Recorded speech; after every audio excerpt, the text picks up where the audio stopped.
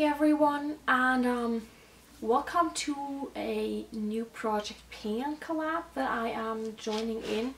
This is a collab that um, I've been asked to join, I've been asked if I was interested to join in um, actually 2016 already and um, Rebekah from um, Simple Southern Girl actually had asked me if I wanted to join in on a Project Pan collab and I was like I'm not sure I I just don't want to use up too many products in 2017 because I got a little burnt out on Project Panning in 2016 and she said she totally understands it so um, what I decided is that I was going to join in but I would not finish up any of the products I'm working on.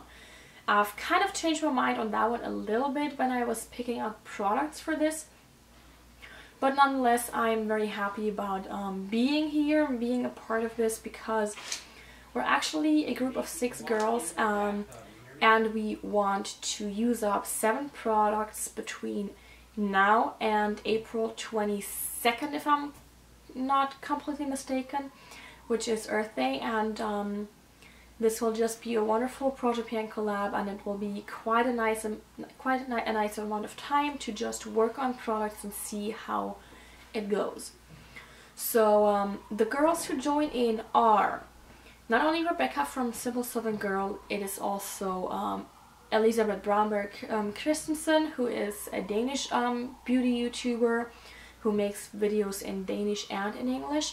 Then it is Betsy from Make Up Your Mind. We have Amber F, who I'm pretty sure you know if you watch um, any pro, um, Pan That Palette project um, pans. Absolutely love those.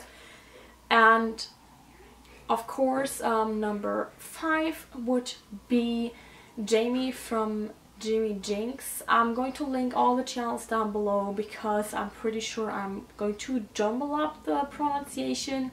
So um, just check the info box down below for all the links to their channels. But um, yeah, I believe I've given you the basic premise and um, I'm going to start right in with my products. So for starters, I have a uh, twofer, which means I have two products that I count as one. These are both two mascaras and the first one is a Benecos Natural Mascara for Maximum Volume in Smooth Brown. I've been trying this since the beginning of January and for me the main issue is that I just don't think it gives maximum volume at all. It gives my lashes a nice light coat and that was it. And then I have the Tarte um, Lights Camera Flashes Mascara. This is a sample size or travel size. And I absolutely hate this brush because it is, um, here, maybe you can see these are um, plastic bristles rubber bristles. I absolutely hate those. I don't like working with them. But the combination, um, if you see my lashes today, that's the result of the combination of these two. And I just want to use them and just be done with them eventually. However, I also have to say I don't really finish off mascaras. I throw out mascaras after three months because I do not want to end up with an eye infection. That has worked very well for me in the past year and a half or so, I guess. So, um, I'm going to stick with this. These will be done once they've been open for three months, which should happen towards the end or at least the second half of this Project Pan collab. So um, this is probably a bit more easy of a um, goal to reach, but at the same time, um, I think if I don't put them in this project, I'm not going to use them at all because I just don't like them very much. Uh, it's the result of the lashes and the brush absolutely are no-goes for me. I don't like them. The combination is like I get I get the brush that I like that uh, separates my lashes much better with this one here. And then I get um, some darker and more um, lashes and more volume with this one. So I kind of make it work, but it's a hassle because usually I try to go with one coat of mascara only. So um, hopefully with this Project Pan I can get some more use out of these and then move them out of my collection and try some of my other mascaras. Then I have an eyeshadow in here and this is my Alverde Mono eyeshadow in the shade Warm Vanilla. This is it and as you can see I already hit pan on this guy here. If you are familiar with my um, with, with my videos and my channel then you probably know that I love this eyeshadow a lot. It's cruelty free, it's vegan. It is just a wonderful eyeshadow and I can't get this here. I'm not sure I want my parents to send this here. Maybe I'll have my mom bring one. That might be a solution to be honest. But yeah, I'm not going to bother. I'm going to just use this one up for this project pan. There is, as you can maybe see, quite a bit left still, but I use this all over my lid. I use this to blend out my eyeshadow and all that. And I had to repress this because it actually fell on the floor and it broke. So this is a very, very soft texture and a very soft eyeshadow, which personally I don't mind because this is a very nice shade and it blends so well. But I want to finish this one up and then maybe work on a few of my other eyeshadows that are a similar color. And then I have another product I want to use up, which like I said, really surprised me that I would end up with so many products I wanted to finish, but this here is my Catrice Beautifying Lip Smoother. And I am all the way at this bottom green line here. I've had this in my 16 and 2016 lip gloss project pan and I wanted to use this one up. Obviously I failed. So I want to see if I can use this one up now and just be done with it because well I do like these a lot. This has been open for quite a while and since it has this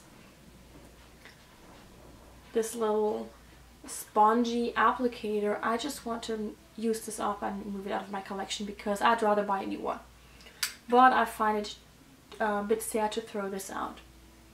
Then I have this foundation here. This is my Tarte Amazonian Clay Full Coverage Foundation. Mine is in the shade Ivory.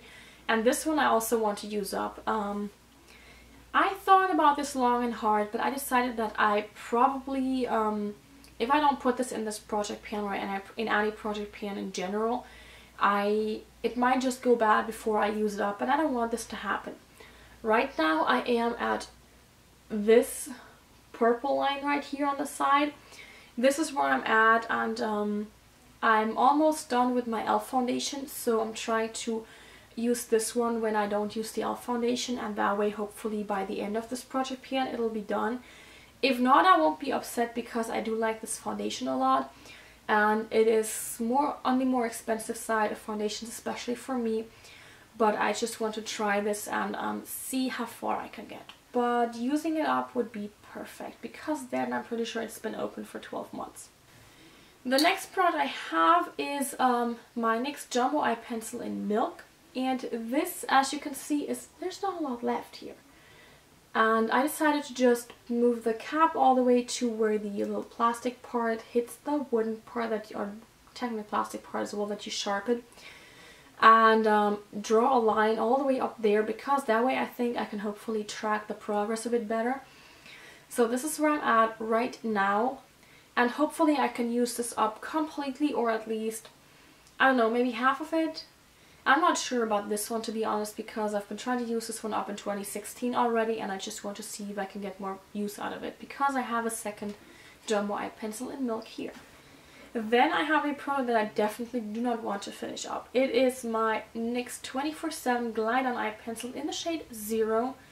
And this is just this plain black eye pencil.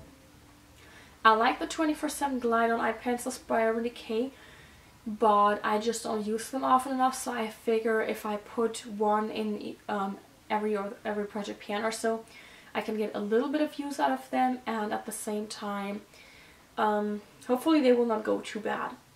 So I am currently yeah, I don't even know if you can see this. So right up here it says distribution distributed by and then there you can see it's very close to the 24. It is maybe half a centimeter above the 24 where I last sharpened.